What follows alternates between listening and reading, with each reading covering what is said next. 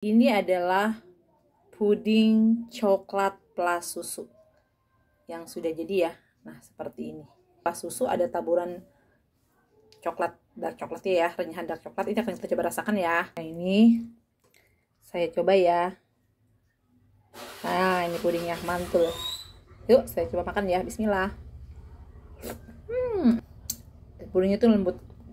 Dikasih pelahnya itu makin mantap ya. Bismillah. Ayo coba bikin puding plak susu seperti ini. Ini rasanya enak banget dan recommended. 700 ml air ya. Kan satu nutrijel coklat. Ini posisinya kompor belum kita hidupin ya. Ini ada susu kental manis 2 sachet kita akan pakai ya. Masukkan. Lagi ya satu sachet susu kental manis. Jadi saya menggunakan 3 sachet ya. Setengah sendok teh garam. Ini kita aduk dulu ya. Ada 7 sendok makan gula pasir dengan takaran per sendok seperti ini. Kita masukkan semuanya ya gula pasirnya. Kita aduk terus ya. Hingga adonan puding coklatnya tercampur rata dulu ya.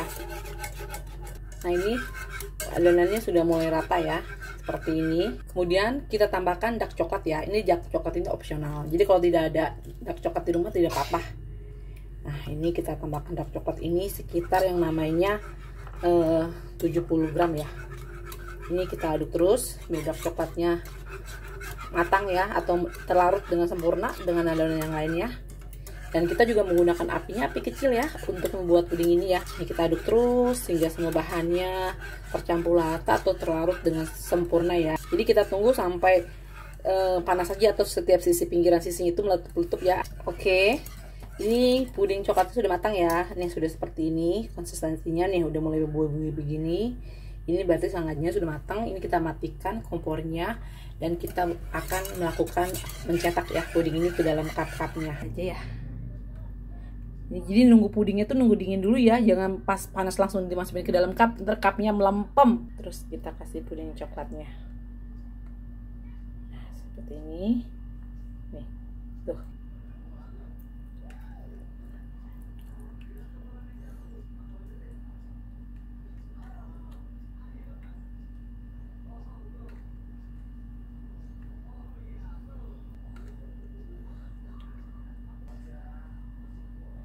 Oke, oke ini puding coklatnya seperti ini ya.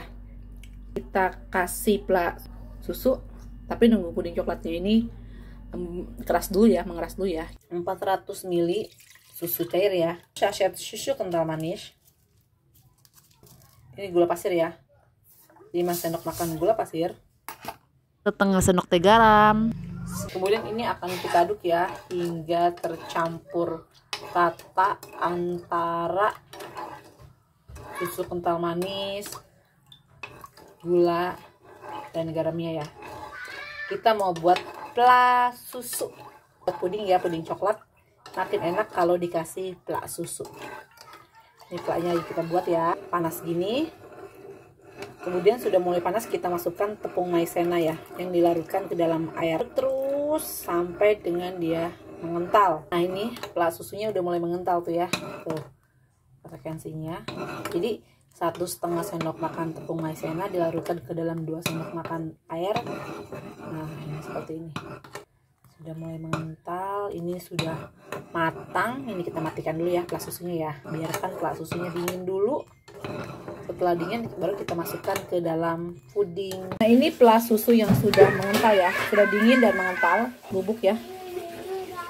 Ini puding yang sudah kita buat tadi kita kasih plus susu.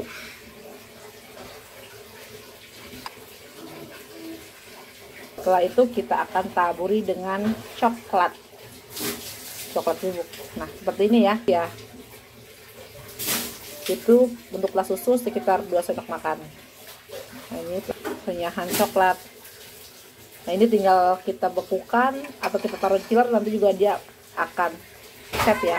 Ya Nah, seperti ini yuk kita lakukan hal yang sama untuk semuanya ya sampai dengan selesai. Ini dia.